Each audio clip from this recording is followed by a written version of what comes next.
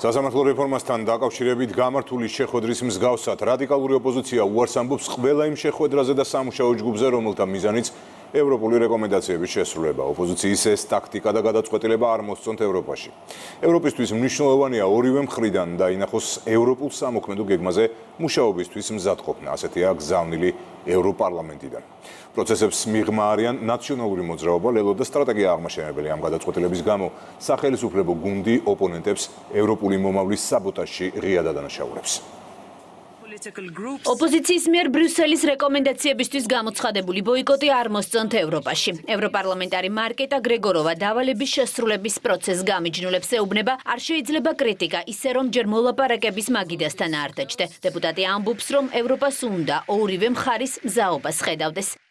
მიმართავ მათ, ვისაც არ სურს გეგმაზე მუშაობა, გთხოვთ, კიდევ ერთხელ განიხილეთ ეს შესაძლებლობა, რადგან ძალიან მნიშვნელოვანია ევროკავშირმა დაინახოს, რომ ზაობა არსებობს ორივე მხრიდან. ეს არ ეხება მხოლოდ საქართველოს ხელისუფლებას, ეს ეხება ოპოზიციასაც. ნაციონალური მოძრაობა ლელო და სტრატეგია აღმაშენებელი. სამი ოპოზიციური პარტია ემიჯნება ყველა პროცესს რომელიც ახლა პარლამენტში მიმდინარეობს. იმისთვის რომ ქვეყანა კანდიდატის სტატუსამდე მივიდეს. ხელისუფლების ოპონენტები ირწმუნებიან რომ რეკომენდაციების შესრულებისთვის მართველი პარტიის გეგმა დროის ხელოვნურად გაწელვა. ასე ხსნიან საკუთარ არჩევანს დადგნენ ისტორიული პროცესების მიღმა და ისევ ულტიმატუმის ენით ისაუბრონ მაშინ როდესაც ვიცით რომ არაფერს ქმედიც არაპირებს შესაბამისად ამ ფარში არ ვიყავ მონაწილეობას თორე ჩვენ რომ ხედავდეთ რომ კონკრეტულ კანონს იღებს კანონ პროექტს ან ცვლილებას ახორციელებს ჩვენ რა თქმა უნდა პარლამენტში შევოთ ხელსაც ავწევთ და შეუერთებით ამ სამუშაოს. ეს რომ არ იყოს პროცესის სიმულაცია და ყველამ გამოდიდებელი ლუპით უყუროთ ამ პროცესს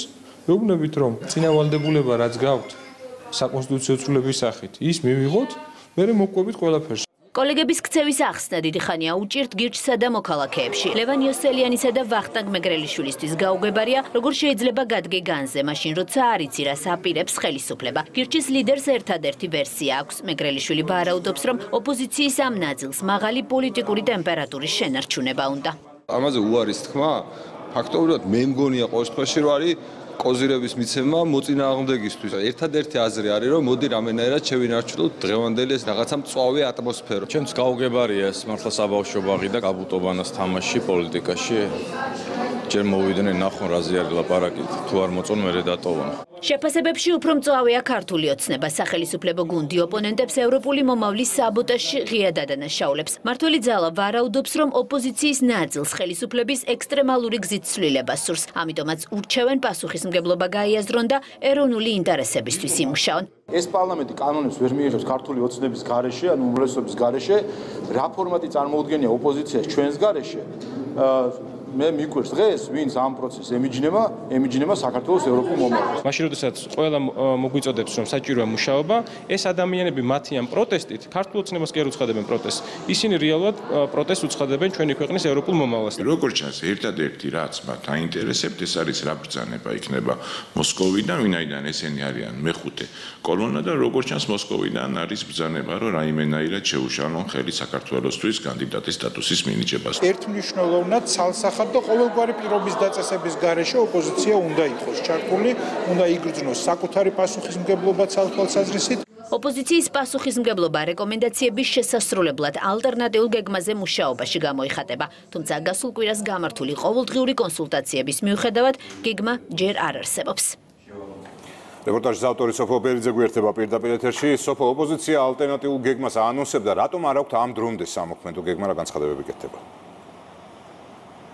ლევან თავდაპირველად დაანონსებული იყო რომ სწორედ დღეს უნდა წარედგინა ოპოზიციას საკუთარი ალტერნატიული გეგმა თუმცა დღეს ნაციონალური მოძრაობის წევრის მხრიდან ითქვა რომ რამდენიმე დღეში გვეცოდინება რა არის ოპოზიციის ალტერნატიული ხედვა რომელიც მისივე ინფორმაციით შეთანხმებული და შეჯერებული იქნება არასამთავრობო სექტორთან. წინასწარ ვიცით რომ ეს იქნება პლენარული სესიის მოწვევის თხოვნა და განისაზღვრება ამ გეგმაში სწორედ ის კანონ პროექტები რომელიც ოპოზიციის მოთხოვნით პარლამენტში პარლამენტმა პლენარული ხტომის ფორმატში, რიგგარეშე პლენარული ხტომის ფორმატში უნდა განიხილოს. იცით, ამ საკითხთან დაკავშირებით მართველი პარტიის პოზიცია ქართულ ოცნებაში ფიქრობენ, რომ არნაირი რიგგარეშე პლენარული ხტომის მოწვევის საჭიროება არ დგას.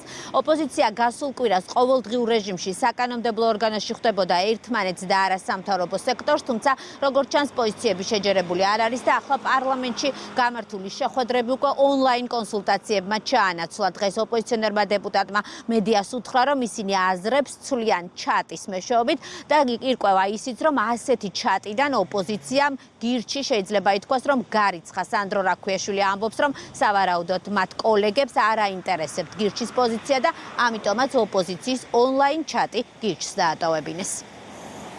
მადლობა სოფო სოფო ბერიძე საუბრობდა პირდაპირ ეთერში.